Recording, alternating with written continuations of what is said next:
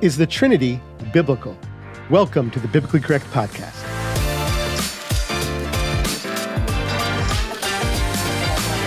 Shalom, y'all. This is the Biblically Correct Podcast, teaching biblical correctness in a biblically incorrect world.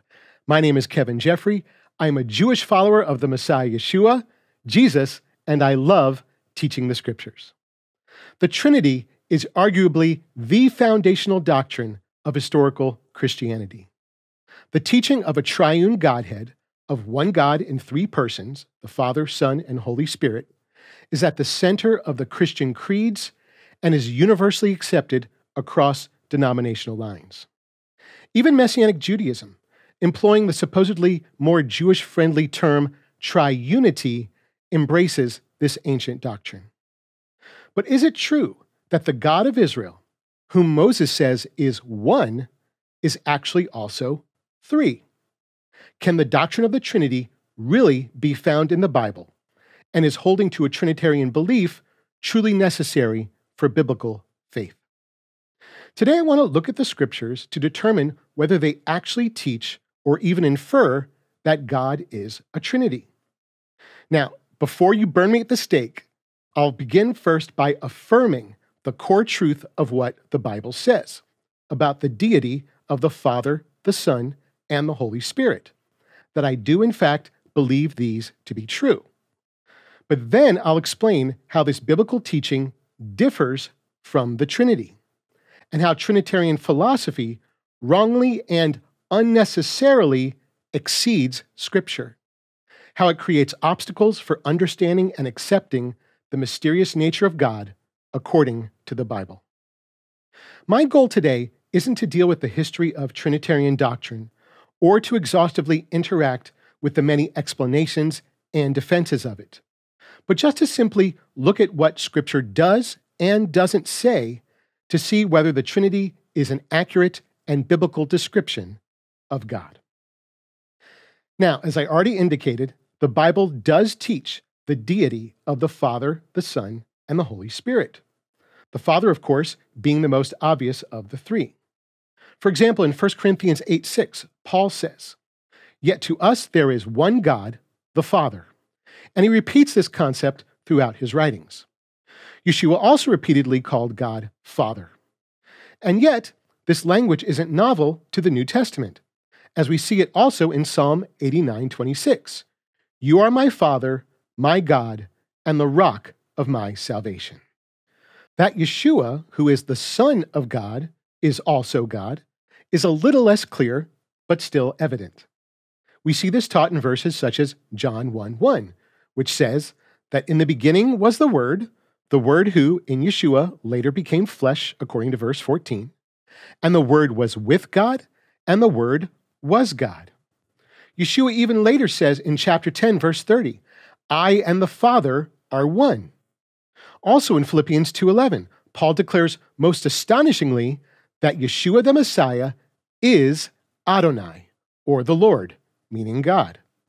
And most clearly, in Colossians 2 9, Paul also says of Yeshua, In him all the fullness of the deity dwells bodily. I taught extensively about the deity and humanity of Yeshua back in episodes 13 and 14, if you want to check those out. But it should suffice to say that Scripture does teach that Yeshua is, in fact, God in the flesh.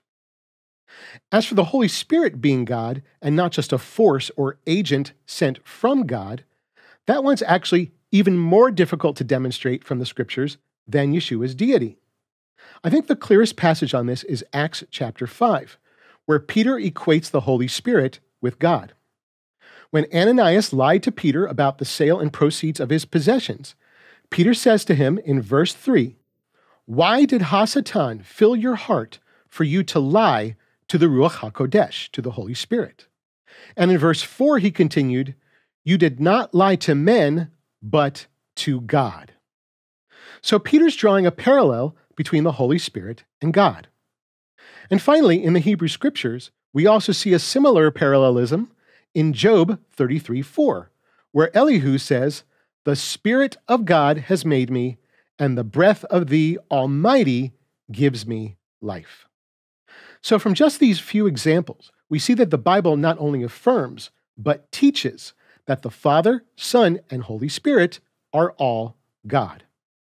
And the fact that these three share a certain kind of commonality and oneness, which we find reflections of in passages such as the accounts of Yeshua's immersion or the closing verse of 2 Corinthians, this unity is probably most evident from Yeshua's own words in Matthew 28 19, where he instructs his disciples, having gone then, disciple all the world ethnicities, immersing them to the name of the Father and of the Son and of the Holy Spirit.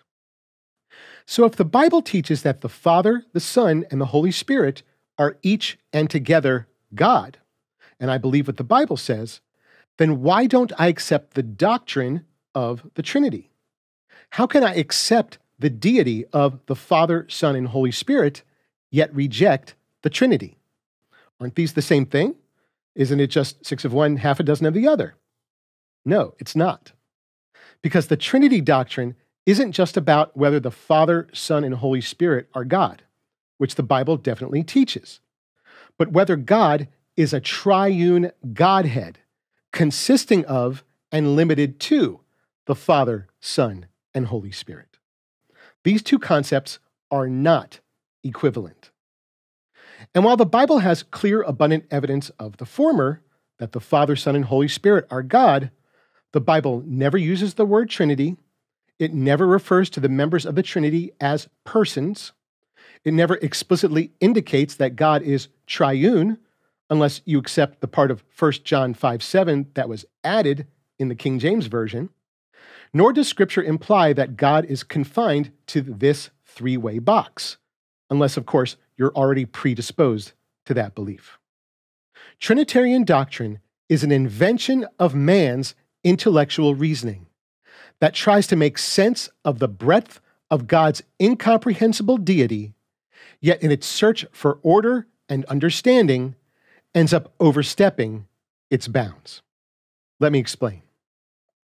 One of the first seeds which supposedly indicates that God is a Trinity is said to be found in the Hebrew name of God Himself, specifically the name Elohim. Whenever you see the word God in the Old Testament, so called, it's translating this Hebrew word. And while God in English is a singular term referring to a single God, the word Elohim in Hebrew is a plural form, more than one.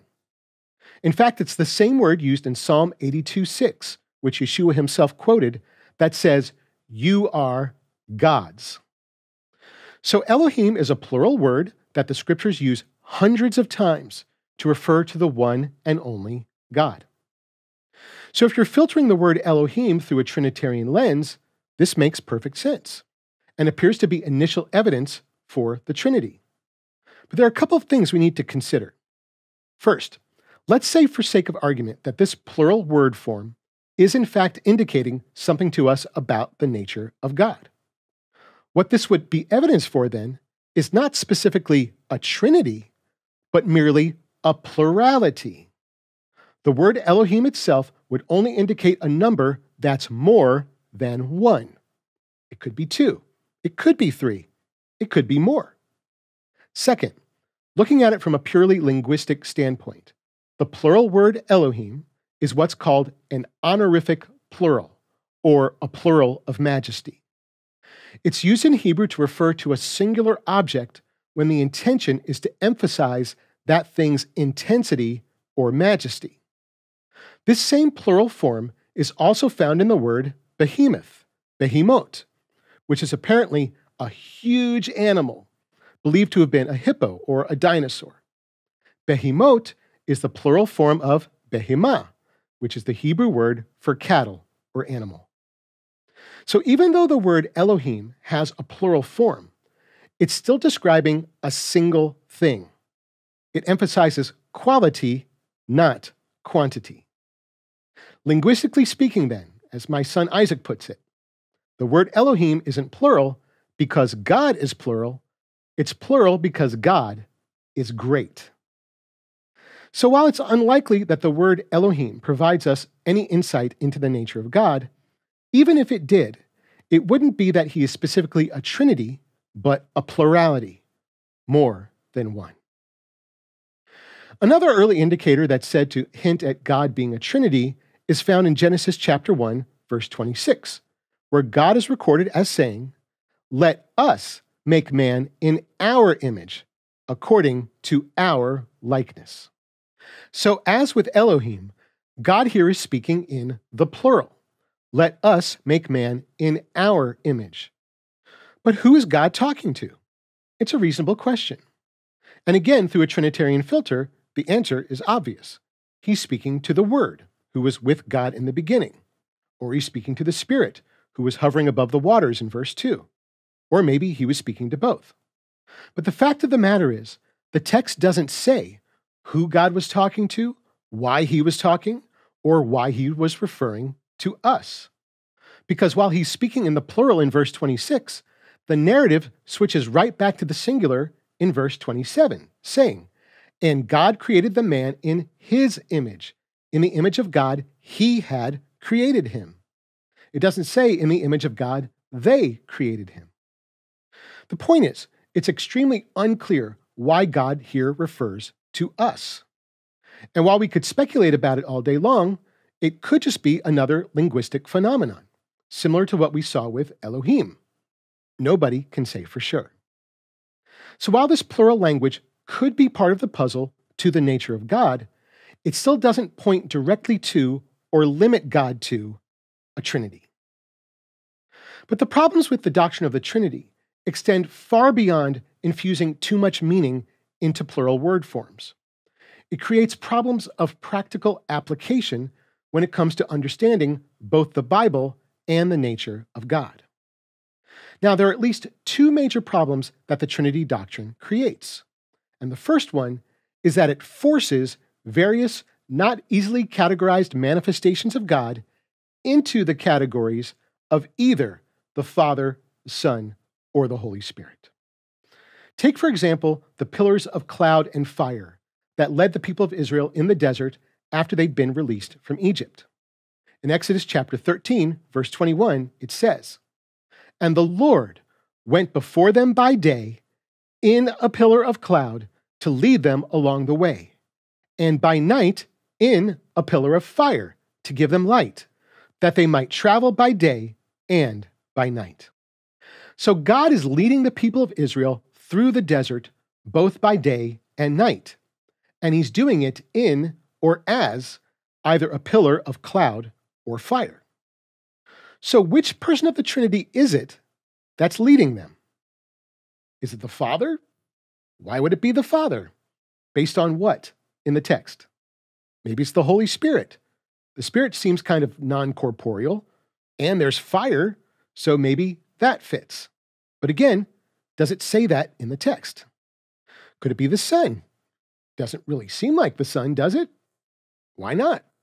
Why would you not think that the cloud or fire are the Son? Or maybe you do. I mean, it's a visible image of the invisible God, right? Or maybe it's all three persons of the Trinity together at once. That would certainly be a convenient way of dealing with the passage. If you can't fit God in only one part of the box, just remove the partitions. So, which person of the Trinity was leading the people of Israel? How about the account of the burning bush in Exodus 3? Here we find Moses out tending the flocks on the mountain of God. And it says in verse 2 that the angel of the Lord appeared to him in a flame of fire out of the midst of a bush. Then in verse 4 it says, When the Lord saw that Moses turned aside to see, God called to him out of the bush. So here we have the angel of the Lord appearing to Moses in the flame of the burning bush. But then it says that it's God, Adonai, who sees Moses and speaks to him. So are the angel of the Lord and God the same thing? Is the angel of the Lord distinct from God himself, even though it's God speaking when the angel speaks? Seems like they're the same thing, right? But more importantly, which person of the Trinity is supposedly appearing and speaking here? Is it the Spirit, the Son, the Father? Which box can we put the flame or the angel of the Lord in? And how about Genesis chapters 18 and 19, where Adonai appeared to Abraham, astonishingly, as three men. Was God only one of the men? Was he all three? The text is unclear. Then it says that two of the men who went down to Sodom were actually angels, and that Adonai remained with Abraham. So, which person of the Trinity appeared to Abraham? Was it the Son? Was it the Father? The scriptures just say Adonai. And what do you do with those angels? At first, they were men whom Abraham saw when Adonai appeared to him. Were those two men also Adonai and then later became angels? Were they actually angels the whole time? How do these angels relate to the angel of the Lord? Who knows? And then there's what they call a pre incarnate appearance of Jesus. Maybe that's what one of the men was. But then, how could the Son of God appear as a man before he became flesh? I'll actually be talking about this in the next episode. So, the whole passage here is very confusing all by itself, just taking it at face value. Trying to make it more orderly or understandable or spiritual by passing it through a Trinitarian filter just further obscures God's word. So, what these examples show us is that God can and has appeared to humankind and interacted with our earthly surroundings, having manifested in ways that don't fit easily or at all into a Trinitarian framework. But when we're beholden to a doctrine like this, we're forced to do one of two things either temporarily suspend the doctrine and not apply it because it doesn't fit the passage we're dealing with, which would be cherry picking, or remain true to the doctrine and force a solution through false logic and imagination. We end up superimposing our doctrinal presuppositions onto the text, and then from that, extracting a supposition that leads us to drosh or teach on or understand the passage in a way that flings us away from God's word and into the wide open fields of our own intellectual and spiritual invention. So, the doctrine of the Trinity creates a false and artificial trichotomy where we're forced to limit, categorize, and label every manifestation of God as either the Father, Son, or Holy Spirit. And this leads us to the second major problem created by Trinitarian doctrine, and probably the most egregious, which is that it needlessly strains, almost to the point of breaking, the plain teaching of Scripture that God is one. From a Jewish perspective, which the historical Christian church was all too eager to distance themselves from, the oneness of God is what sets apart the God of Israel from all other gods. As compared to the Trinity in Christianity, the belief that God is one is the singular foundational declaration, doctrine, and creed of biblical Jewish faith.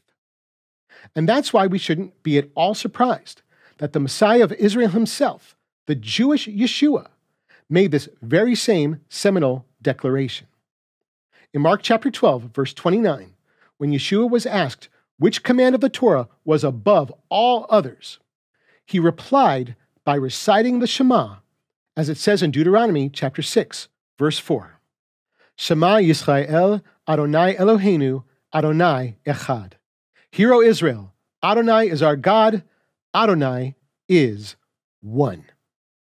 The Master Yeshua affirms, proclaims, and champions the oneness and indivisibility of the God of Israel.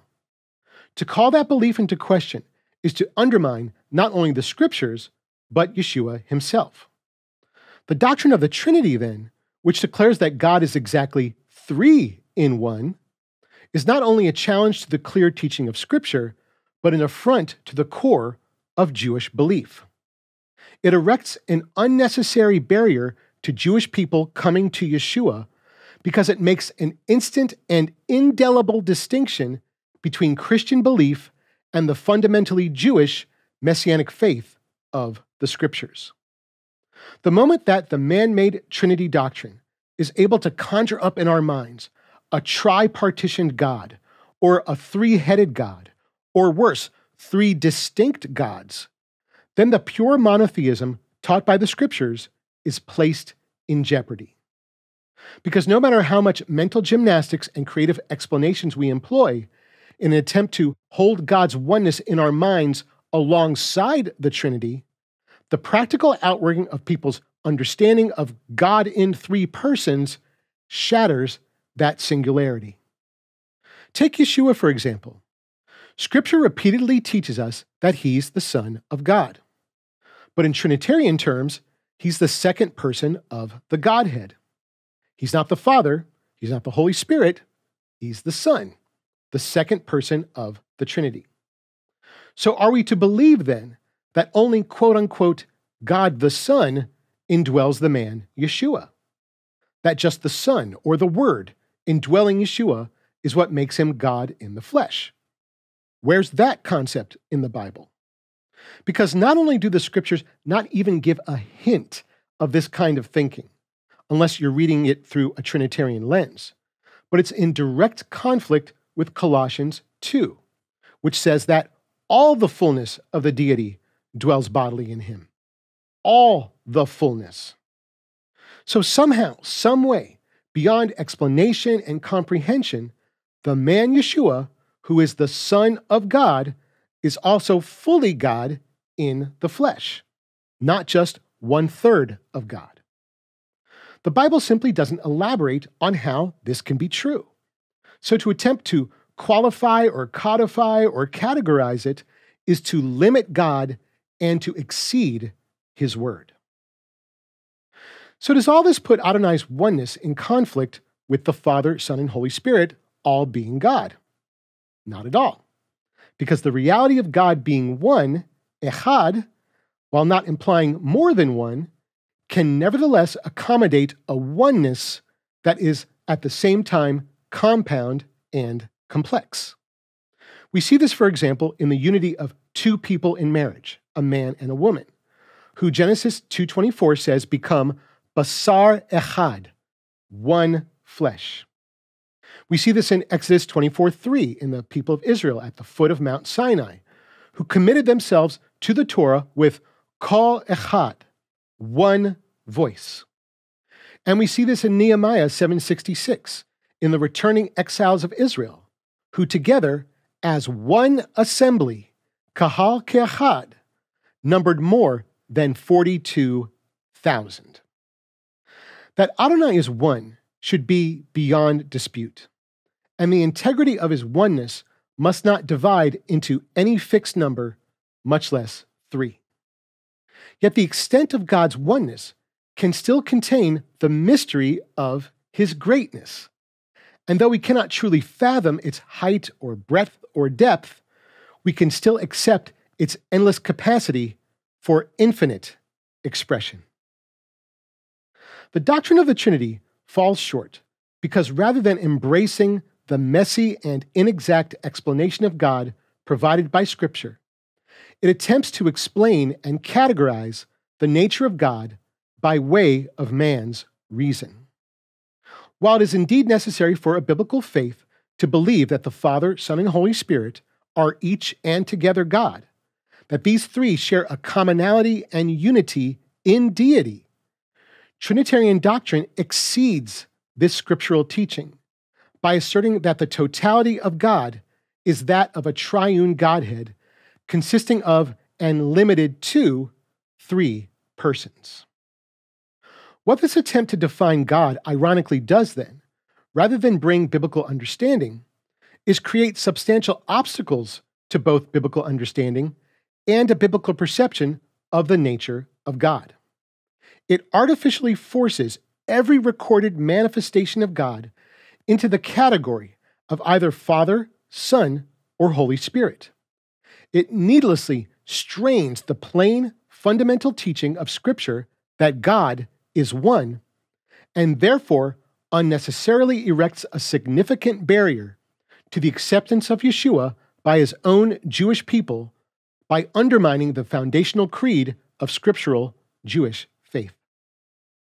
The bottom line is that nothing in Scripture puts or locks God into a triune Godhead. On the contrary, not only is the exact relationship between the Father, Son, and Holy Spirit scripturally unclear, but Scripture depicts God interacting with his creation in a multitude of ways that simply don't fit naturally into a Trinitarian framework. Scripture's testimony of who God is, specifically in light of who Yeshua is as God in the flesh, is controversial enough on its own. What we don't need is to compound the problem by perpetuating ancient, invented concepts and terminology that don't exist in the Bible. And while many will find Scripture's explanation of God intellectually unsatisfying, it's simply better to just let Scripture say what it does say and not say what it doesn't, without trying to make God's Word and God Himself fit our conclusions. Psalm 104, verse 1, and 145, verse 3 explain God this way Bless the Lord, O my soul. O Lord my God, you are very great. You are clothed with splendor and majesty. Great is the Lord, and highly to be praised, and his greatness is unsearchable. I don't accept the man made doctrine of the Trinity because it both exceeds and limits what the Bible teaches us about God. Instead, I believe what the scriptures say that God is one, He is the Father, we can walk by the Spirit, and be saved by the Son. Thanks for joining me for the Biblically Correct podcast. If you like this episode, please support us by making a donation. Of course, don't forget to like, share, comment, subscribe, and ring the bell to receive notifications of new episodes. Until next time, remember that every scripture is God breathed. Shalom.